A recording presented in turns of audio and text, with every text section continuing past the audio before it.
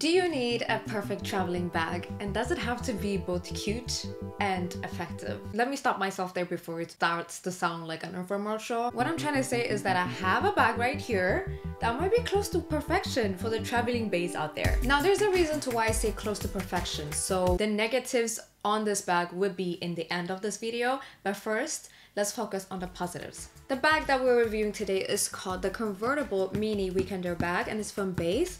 Béis, if I'm not mistaken, is made by the actress Shay Mitchell. It costs about 140, how much is it? $148, something around there. While editing this video, I actually noticed that I said the wrong price to you guys because it was a little bit confusing. If you live in Europe, it actually costs 136 euros, but if you live in the US, it's cheaper. So it costs $118. So it's not the most cheapest bag that you can find out there, and it's not the most expensivest. It's just somewhere in the middle. The reason to why I was looking for a traveling bag that is effective and cute at the same time was because my job actually requires for me to travel. So I have taken this baby with me and she has been used basically because I'm not even home right now. But let's get into the positives of this bag.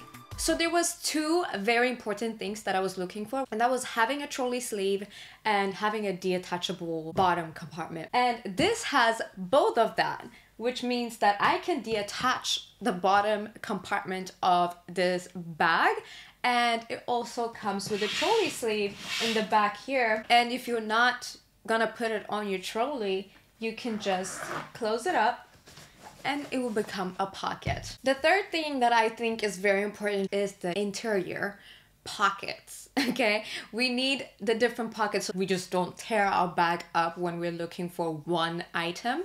So this bag actually comes with more than four interior pockets and in those pockets you can also find vegan leather detachable laptop case. Now this case they say that it's padded but it's not padded enough for me to feel my laptop is safe there but I would put papers in there and I would also put an iPod there if I was traveling with one. And there's also a key holder which makes it very easy to travel with. There's a lot of positives when it comes to this bag, I'm not gonna lie, because I didn't find lots of bags that had everything that I needed, like the trolley sleeve, the pockets on the inside, and the, the attachable bottom part where you can put shoes and whatever you need in there. But there is some negatives. The first thing I noticed when I unboxed this bag was the size of it. Now this one is supposed to be the mini one, but it's quite big. it's huge. The reason to why I wanted the detachable bottom part was that so I can have the bag and just wear it like as a normal everyday bag and not like a travel bag. But that's not the case here. This is the bag is still very big without the bottom compartment. If You're traveling like flying. I don't think this bag will count as a personal item. I think it would actually count as a luggage. I'm thinking like the flight attendants would actually ask you to put it in the over compartment in, in the plane. That's because of the size it's just huge and I just really wanted it to be mini but that's not the case in this situation. And the second thing that I didn't like as well was the quality of the bag. Now for a bag that's costing around $165 I expected a little bit of a better quality, especially when it comes to the touch. I'm very sensitive when it comes to touch.